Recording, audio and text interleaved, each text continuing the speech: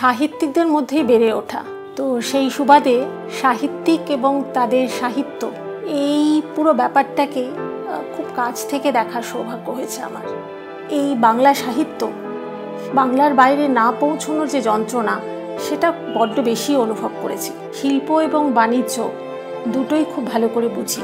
সঙ্গে সঙ্গে এটাও বুঝেছি যে বাংলা সাহিত্য শিল্পগুণে শ্রেষ্ঠত্ব লাভ করলেও বাণিজ্যের দিক থেকে আমরা যেন অনেকটাই পিছিয়ে আছি। এই বাংলা সাহিত্যকে গোটা পৃথিবীর কাছে তুলে ধরতে চাই আমি।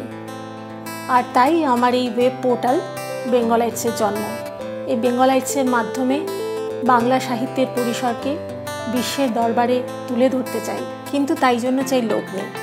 আর তাই আমি দেবলীনা মুখোপাধ্যায়, আসছি Britannia Marigold, my start up show, ধন্যী মেয়ের উপাখ্যানে।